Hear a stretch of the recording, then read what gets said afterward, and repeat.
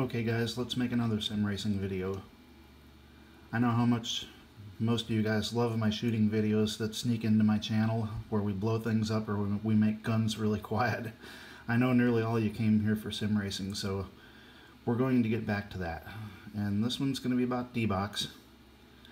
D-Box is a high-end um, motion control system for primarily for home theater use.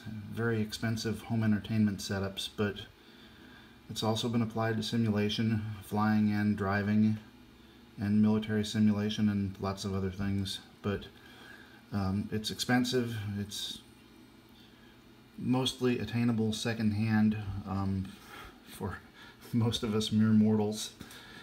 And it works really, really well. I've been combining it with SimXperience rear traction loss. That's what this is right here. Um, not currently integrated back into my rig. I have built a new rig and RTL is coming back to it, but I've got the D-Box part done and we're going to talk about how that's implemented and how it feels so far.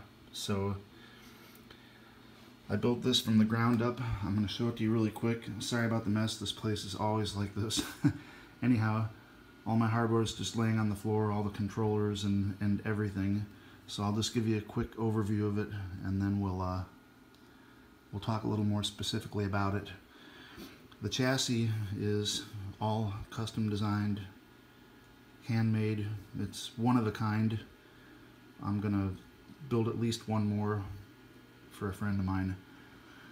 But this is a little bit different than most D-Box rigs. The actuators are very widely spaced. You can see I have one in the front center here, but you can see there are mounting points for four of them and then in the rear you can see there's one there and there's one behind the seat hidden away.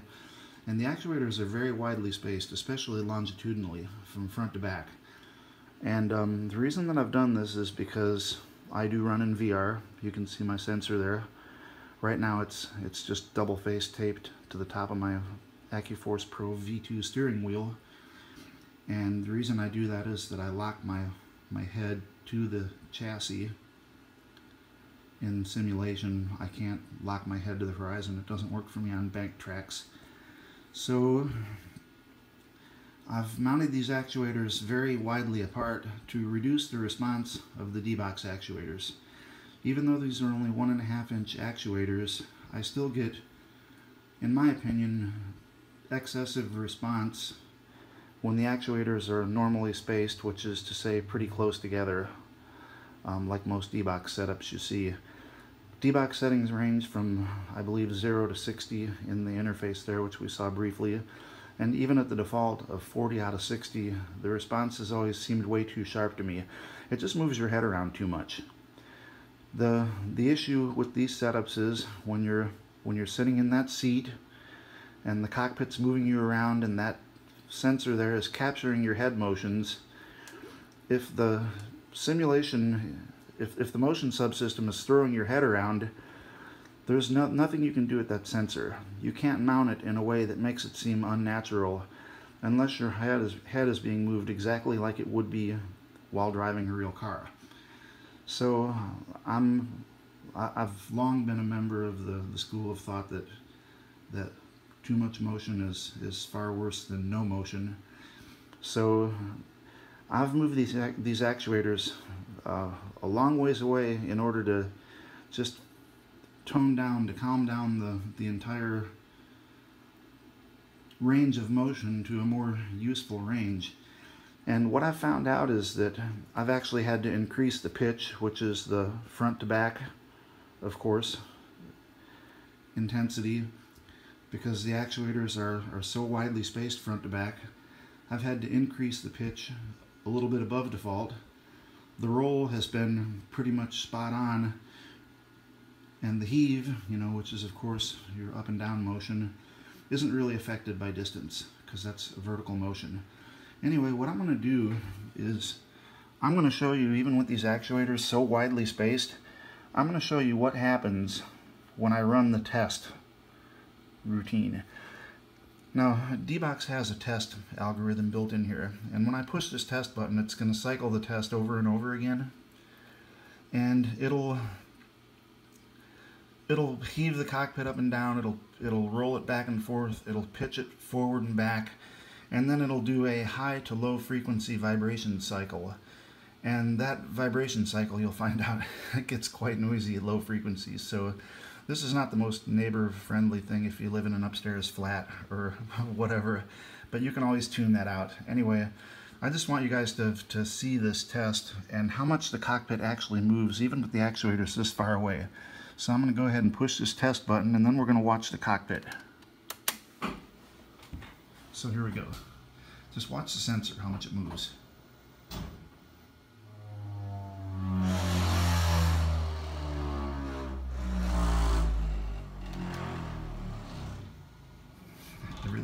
Desk is shaking. It.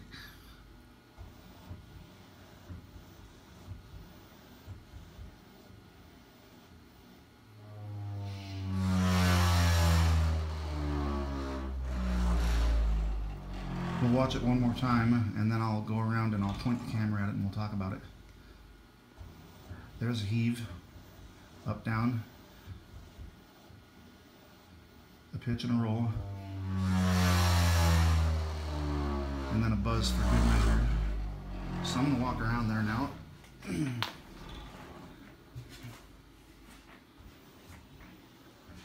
Navigate this obstacle course of a workshop that used to be a master bedroom.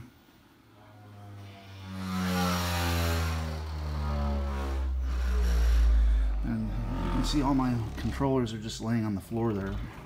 But let's watch these actuators.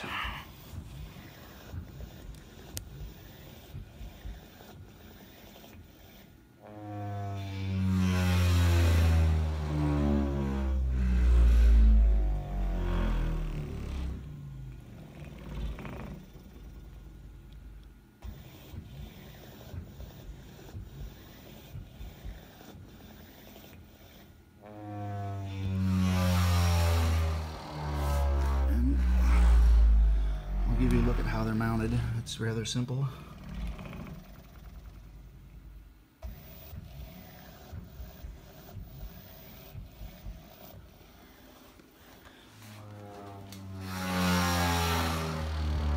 We'll go ahead and stand here and watch it roll. And pitch and heave. I'll try to hold the camera nice and still so you can see it.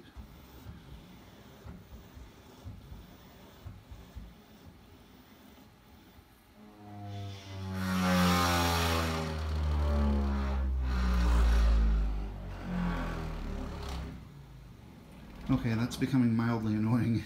Anyhow, just wanted to give you a little bit of insight into into what the what the system does. Actually, let's watch that sensor one time. That sensor being next to the edge of that shelf really gives you a good perspective also.